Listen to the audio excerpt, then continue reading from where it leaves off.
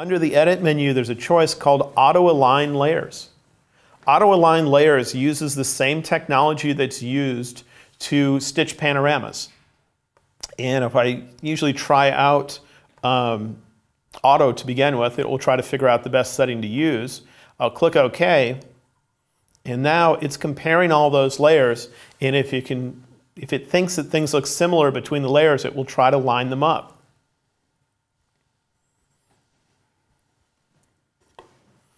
Might take a little bit of time because how many images do we have? We had quite a few.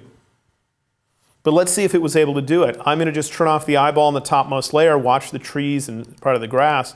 That looks pretty close to being aligned, doesn't it? Now it had to move it over quite a bit. I can see some issues on the edge here, um, but that's just because we have multiple pictures stacked up and I think I, uh, the camera was moving like to the right or left and you're seeing like the edges of multiple pictures. Turn off the next one, it looks pretty darn close. Next one, look at those guys. That could be a fun little GIF animation if they just did that. Now that one didn't work out. That either means, means I moved too much. I probably, yeah, it looks like I lowered myself so that the perspective was different.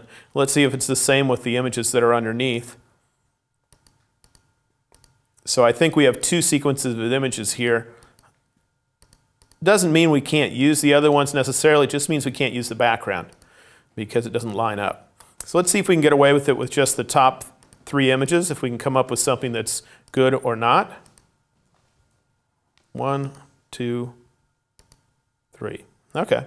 So what I'm going to do is decide to start on one side of the image or the other. I'll use only the top three images just because the other ones don't line up right now. They're a different composition. I moved a little bit lower.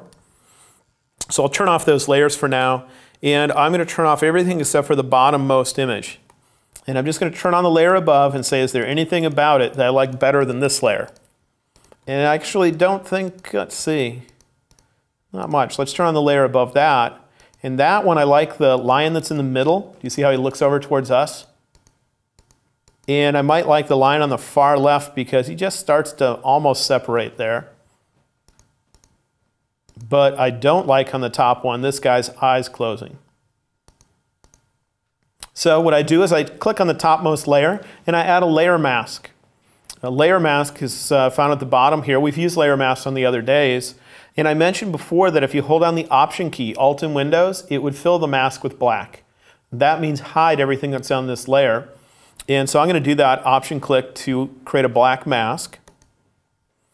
And then I'll come in with my paintbrush tool, painting with white. And now I'm going to paint wherever I want to use the other photo, the photo that's on top. If I want to remember what that photo looks like, you can hold down the Shift key and click within the mask. If you hold down the Shift key and click, it disables the mask. And so if I look at that, I say, okay, that's where I wanted the line in the middle, and I also like the line on the left better. So I'll come in here with a soft edge brush,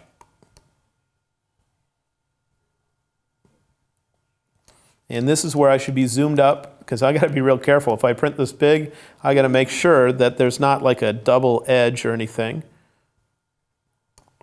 And let's see what happens if I go over to where his head is. It's a matter of deciding where is the most visually unnoticeable transition to, uh, to where to stop painting. If you can't tell how much of that image you used, there's a trick. If you press the backslash key, the one that leans towards the left, it will show you a red overlay. And wherever it's not covered with red, that's where you're using that layer. Um, all it's doing is it's taking the mask that you see here and it's overlaying it on the picture as red. So wherever the mask is, is where it's not uh, using that layer. And I can see exactly where it is, so that's where I need to analyze the picture. I see a tiny hint of red right there, which means part of that's not being used. I can paint while this mask is visible to make sure I got that. So we got those. Then I think I wanted to use the guy over here as well, so I can come up, paint there, because I get a little bit more separation and it's right there where I need to, to bump into the other that I need to be very careful where I paint. And it's up to me where I think I can get away with stopping or I could paint its entire body to get it in. I think I can get away with going right there.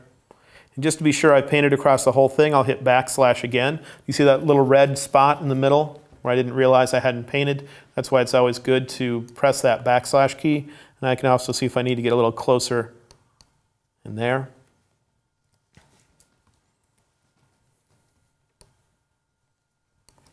And let's see what that's doing. I'll hide the top layer before, after. So you see how we get a little bit of an adjustment.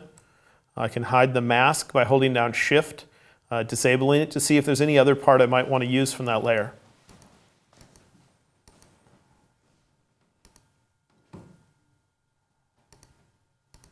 Maybe I like the, the uh, line on the right.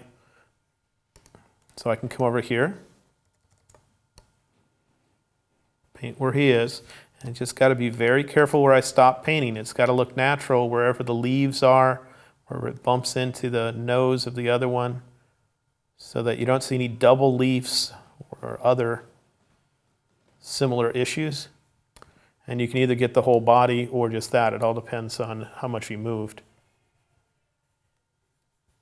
When I'm done, I press backslash again, look for any red spots where I don't realize it, uh, what's going on there.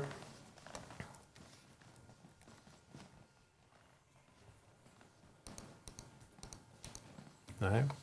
And then a final thing I would do is, if I'm only going to use two layers, but I ended up loading in a bunch, I don't want the file to be this big. So I can go to the side menu of the Layers panel, and there's a choice uh, within there that's called Discard Hidden Layers, I think. No, Delete Hidden Layers.